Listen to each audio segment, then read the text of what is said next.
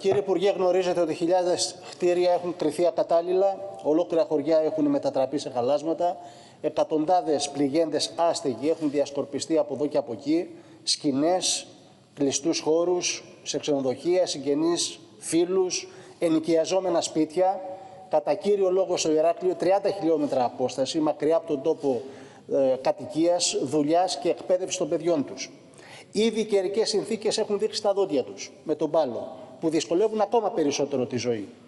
Αγωνιούν όμως και για το αύριο, με τις, για, τις, για την τύχη των περιουσιών τους, των σπιτιών τους, των οικογενειών τους.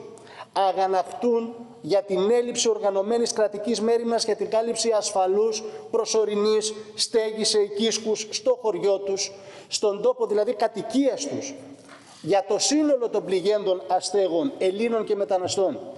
Πρώτον, γνωρίζουμε ότι μέχρι 7 δεκάτου στον πρώτο έλεγχο των κτηρίων, τα 9.327 κτίρια που ελέγχθηκαν, τα 5.205 χαρακτηρίστηκαν μη κατοικήσιμα.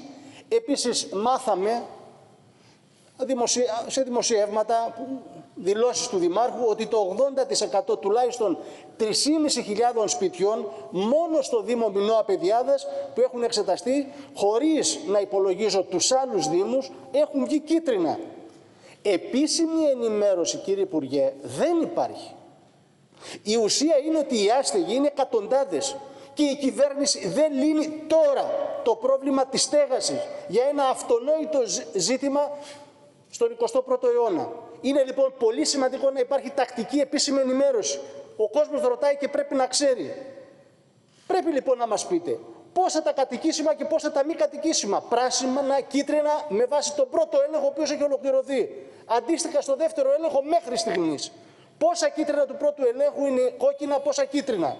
Ποιος ο πραγματικός συνολικός αριθμός αστέγων ιδιοκτήτες, ενοικιαστέ, μεταναστές, ανεξάρτητα που βρίσκονται τώρα. Μέχρι στιγμής έχουν τοποθετηθεί 34 οικίσκοι χωρίς εξοπλισμό και χωρίς ακόμα να έχει μπει έστω και ένας πληγέντε άστεγος. Αναμένονται άλλοι 90 οικίσκοι όπως λέτε. Ακούγεται όμως ότι δεν υπάρχουν διαθέσιμοι οικίσκοι και ψάχνετε στο εξωτερικό. Ισχύει, δεν ισχύει; Εάν ισχύει, επιτρέψτε μου, φέξε μου και γλίστρησε. Δεν επαρκούν Ούτε οι 130, ούτε οι 150, ακόμα και αν έρθουν. 150 οικείς και επί 4 άτομα είναι 600. Οι υπόλοιποι που θα μπουν. Δεν καλύπτεται το σύνολο των στεγαστικών αναγκών. Ο αδιαθέσιμος αριθμός οικίσκων είναι σε πλήρη αναντιστοιχεία με τον απαιτούμενο όπως έχει καταδειχθεί από τις προτάσεις των Δήμων. 420 οικίσκη πρόταση Δήμου Μινώας Παιδιάδας, 40 αρχανών αστερουσίων. 460 οικίσκη επί 4 άτομα, 1840 άτομα. Πού τα 1840, πού τα 600. Και όσο περνάει ο, ο καιρός, ο αριθμός των πληγέντων που έχουν προσωρινή στέγη θα απαιτούν να επιστρέψουν στον τόπο τους και με το δίκιο τους. Θα αυξηθεί δηλαδή ο αριθμός των αστέγων.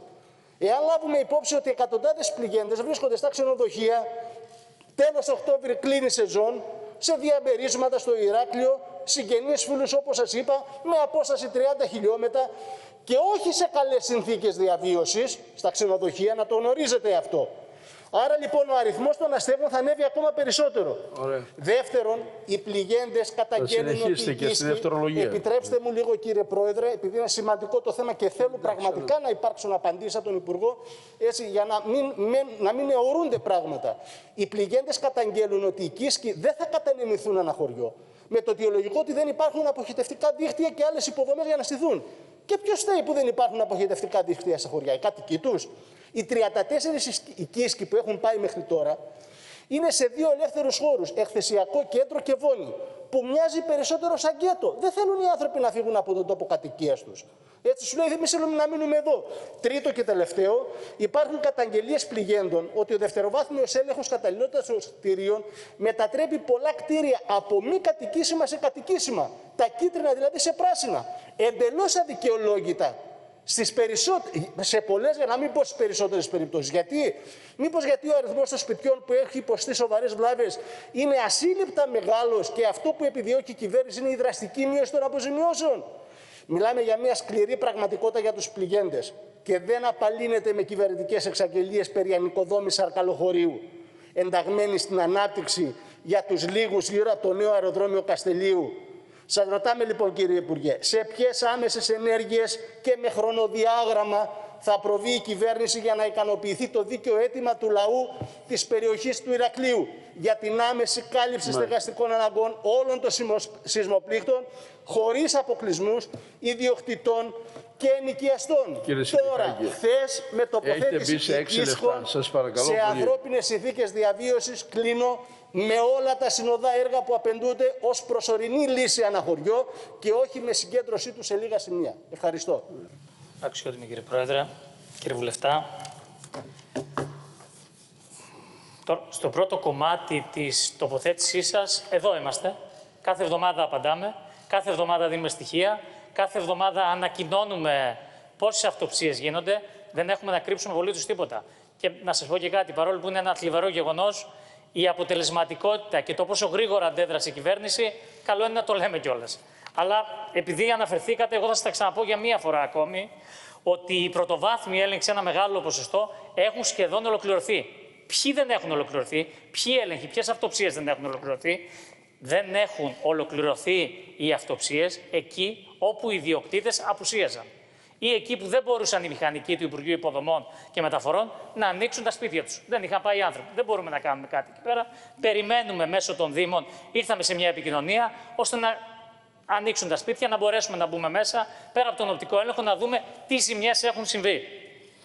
Και από την προηγούμενη Παρασκευή, 8 Δεκάτου, έχουν ξεκινήσει και οι δευτεροβάθμιοι έλεγχοι στα κτίρια, που κατά τον πρωτοβάθμιο έλεγχο χαρακτηρίστηκαν μη κατοικήσιμα.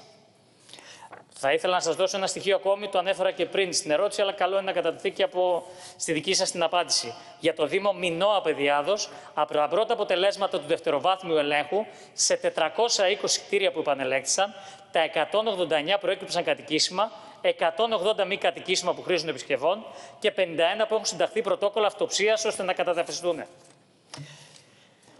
Κύριε Συντιχάκη, θα ήθελα να είμαστε λίγο πιο προσεκτικοί σε ό,τι αφορά διοικητικές πράξεις δημοσίων υπαλλήλων, επιστημόνων, το οποίο αφορούν την ασφάλεια και κανένας δημόσιος υπάλληλος, κανένας άνθρωπος που κάνει έναν έλεγχο, ένα κτίριο που είναι να πέσει, δεν πρόκειται να βάλει την υπογραφή. Δεν την κάνει ούτε ο υπουργός, ούτε δέχονται κανείς να δώσουμε κατευθύνσεις από την πολιτική ηγεσία. Και ούτε θα το έκανε ποτέ και καμία πολιτική ηγεσία για ένα κτίριο το οποίο δεν είναι ασφαλές, να πούμε ότι παιδιά προχωρήστε και βγάλετε το κίτρινο ή πράσινο. Δεν γίνονται αυτά. Δεν κάνουμε τέτοια ζητήματα. Είναι πολιτικοί μηχανικοί, είναι επιστήμονες, βλέπουν τις ρογμές και τα θέματα που έχει το κάθε κτίριο και ανάλογα συμπληρώνουν το χαρτί της αυτοψίας, το οποίο είναι μια διοικητική πράξη και υπάρχουν και ποινικές ευθύνες. Άρα αυτό ας το προσπεράσουμε και ας είμαστε πιο προσεκτικοί. Μέχρι αυτή τη στιγμή έχουν διενεργηθεί 11.500 αυτοψίες. Έχουν χαρακτηριστεί κατοικήσιμα τα 5.353 και 6.152 μη κατοικήσιμα. Στις 7 Δεκάτου δημοσιεύτηκε η οικία οριοθέτησης και ήδη έχει κινήσει και η διαδικασία της πρώτης αρρωγής ως έναντι της στεγαστικής συνδρομής. Οι έλεγχοι συνεχίζονται καθημερινά ώστε να οριοθετηθούν και όλες οι πληγήσεις περιοχές. Μάλιστα, όπως... Θα σας απαντήσω, ναι. Μάλιστα, όπως είχα πει και στο συνάδελφό σας, σε συνεργασία με την Περιφέρεια Κρήτης, γιατί υπάρχουν και άλλοι δήμοι, όπως είναι ο Δήμος Βιάνου, Γορτίνας, Φεστού, Χερσονήσου, καθώς και περιοχές του Δήμου Οροπεδίου Λασιθίου, της Περιφερειακής Ενότητας Λασιθίου. Θα εκδοθεί λοιπόν εντός των επόμενων ημερών συμπληρωματική οικία και με τις λοιπές τοπικές κοινότητες που έχουν πληγεί. Όντως, και πολύ ορθώς το αναφέρατε, το ζήτημα της προσωρινής στέγας είναι πάρα πολύ σημαντικό. Είμαστε σε καθημερινή επικοινωνία με τους δημάρχους, με τους αρμοδίους των Δήμων για το πώς θα προχωρήσουν όλα αυτά τα ζητήματα. Έχουμε στείλει αυτή τη στιγμή μέχρι σήμερα τέσσερις φορές έγγραφο να μας πούν ποιοι κάτοικοι είναι αυτοί που δικαιούνται και γι' αυτό το Υπουργείο μας προχώρησε και σε ένα διαγωνισμό ακόμη 90 οικίσκων. Αλλά επιτρέψτε μου και δεν, το... δεν θα ήθελα να το στυλιτεύσω. Δεν μπορείτε όμως να γράφετε πρόφαση έλλειψης των αναγκαίων υποδομών. Μα φυσικά χρειάζονται οι αναγκαίες υποδομές. Δηλαδή θα βάλουμε οικίσκους όταν δεν έχουμε εξασφαλίσει ηλεκτροδότηση και τους σόκο ώστε να μπορούν οι πολίτες να βιώνουν με αξιοπρέπεια. Φαντάζομαι ότι δεν ζητάτε αυτό το πράγμα. Φαντάζομαι ότι αντιλαμβάνεστε ότι πρώτα πρέπει να γίνουν αυτές οι πρόδρομες εργασίες και μετά να τοποθετηθούν οι οικίσκοι. Και γι' αυτό είμαστε σε συνεργασία με τους Δήμους. Και γι' αυτό θέλουμε να ξέρουμε πόσοι δικαιούνται, πόσοι πραγματικά τα έχουν ανάγκη και γι' αυτό δεν θέλουμε και όλοι οι κάτοικοι να πηγαίνουν σε οικίσκους. Υπάρχουν τα ξενοδοχεία, υπάρχουν τα σπίτια που έχουν διατεθεί, ώστε να μπορέσουμε να προχωρήσουμε και να υπάρχει ένας επιμερισμός ουσιαστικά. Και αυτό φαντάζομαι το καταλαβαίνετε και μπορούμε να συμφωνήσουμε και να ομονοήσουμε σε αυτό το πράγμα. Άλλωστε, η οικίσκη είναι μια προσωρινή και μόνο, ε, μια λύση στέγασης η οποία είναι συμπληρωματική με όλα τα υπόλοιπα που κάνουμε. Περισσότερα στη δευτερομιλία μου. Όσο μπορείτε, πιο σύντομα. Συζήτηση που βάζει το, το πρόβλημα στην uh, θέση του ε, και από αυτή την άποψη, ε, κύριε Υπουργέ, κάθε εβδομάδα θα είμαστε εδώ. Μην uh, νομίζετε. Γιατί προκύπτει όχι μόνο το στεγαστικό, είναι αποζημιώσεις. Είναι μέτρα ελάφρυνσης των κατοίκων. Είναι μέτρα που αφορούν τα σχολιά, με πολλά πράγματα. Λοιπόν, ανακοινώσατε τώρα 6.152 μη κατοικήσιμα. Δεν ξέρω αν ανεωείται για όλη την περιφερειακή νότα Ηρακλείου ή μόνο για το Δήμο Μινώα Παιδιάδας. Για όλο. Λοιπόν, πόσα από, αυτά, πόσα από αυτά κατά την άποψή σας είναι σπίτια, έτσι. Πόσα είναι σπίτια που κατοικούν άνθρωποι μέσα. Δώστε μου ένα αριθμό. Πόσοι άνθρωποι μένουν εκεί. Προφανώς δεν μπορείτε να μου δώσετε και δικαιολογημένα γιατί δεν μπορείτε να κάνετε ένα τέτοιο προορισμό στη φάση. Είναι ως πάρα πολύ. Είναι πάρα πολύ. Τι θα πει 34 η Κίσκη, τι θα πει 90, τι θα πει 150, τι θα πει 200. Σε αυτό όμως δεν απαντάτε. Κύριε Υπουργέ, πώς θα καλυφθεί το στεγαστικό αυτών των ανθρώπων, των οικίσκων δηλαδή, στον τόπο κατοικίας τους. Και το ερώτημα είναι γιατί δεν πάτε να στήσετε τους οικίσκους που είναι αποκλειστικά ευθύνη του κράτους στο χωριό των πληγέντων; Όχι σε στρατόπεδα συγκέντρωσης, στο χωριό. Η απάντηση λοιπόν είναι ότι επειδή δεν έχουν αποχετευτικό δίκτυο, δεν μπορούν να στήσουν, λέει, αναχωριό τους οικίσκους. Και σας ρώτησα, ποιος ευθύνεται που δεν υπάρχει αποχετευτικό δίκτυο, οι κάτοικοι. Όταν όμως πάνε να στήσετε, όταν πάτε να στήσετε τους οικίσκους με τις εργολαβίες, Προφανώς χρειάζεται και το αποχετευτικό δίκτυο, υπάρχει και η υποσταθμή της ΔΕΗ. Πολλά συνοδά έργα πρέπει να γίνουν. Ε, αυτά να τα κάνετε ένα χωριό. Αλλά έχει κόστος. Έχει κόστος. Γι' αυτό θέλετε να συγκεντρώσετε τους οικίσκους σε ενιαίους υπερτοπικούς χώρους. Εγώ θα σας πω κύριε Υπουργέ το εξής. Αν δεν ήταν η αλληλεγγύη, η συλλογική βοήθεια του απλού κόσμου, των κοινωνικών φορέων των σωματείων, δεν θα κουνιότανε φίλο. Όπως σας το λέω. Και δεν το λέω μόνο εγώ, το λένε όλοι απίστευτη αυτοοργάνωση στο Αρκαλοχώρι και σε όλα τα χωριά και είναι άξιοι συγχαρητηρίων γι' αυτό.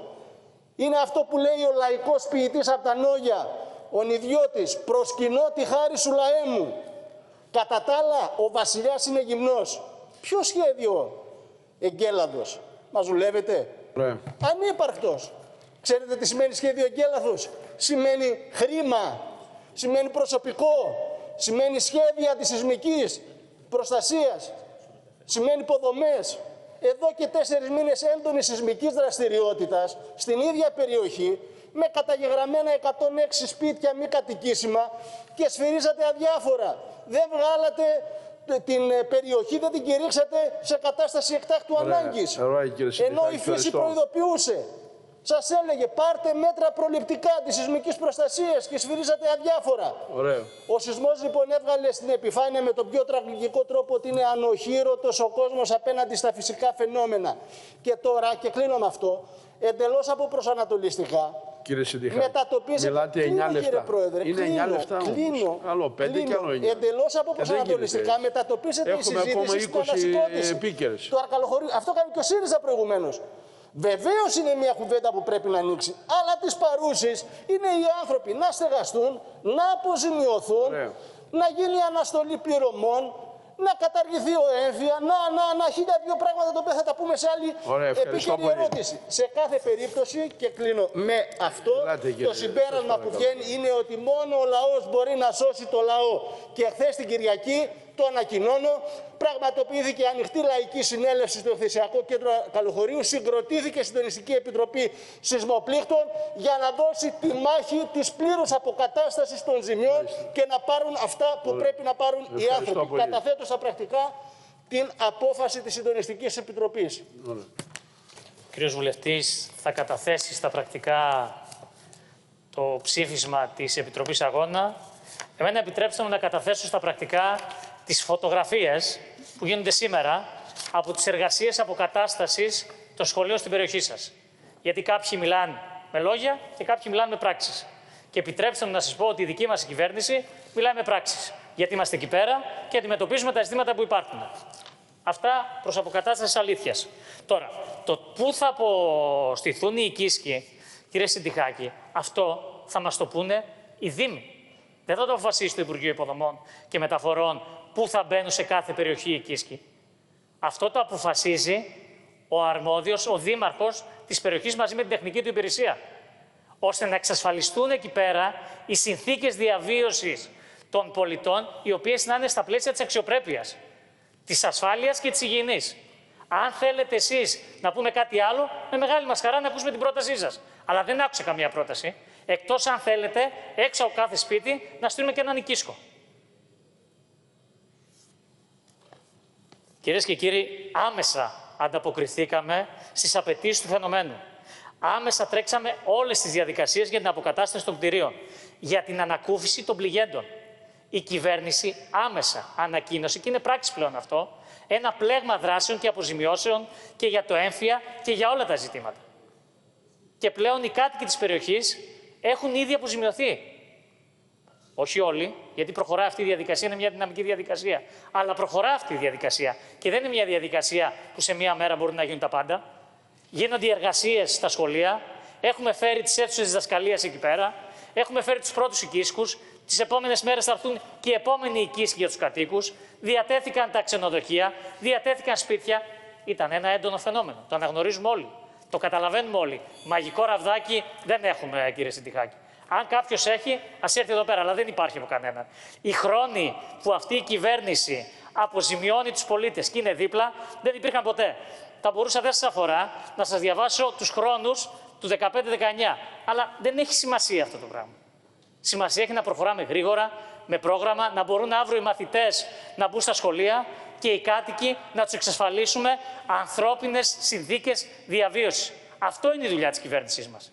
Και κατόπιν, ήδη κατέβηκε ο Γενικός Γραμματέας μαζί με τον αρμόδιο υφυπουργό, τον κύριο Τριαντόπουλο, μαζί με τον κύριο Μπακογιάννη, για να δουν το ειδικό πολεοδομικό σχέδιο. Είμαστε εκεί. Αντιμετωπίζουμε όλα τα ζητήματα. Όχι με κραυγές, με πράξεις. Σας ευχαριστώ πολύ.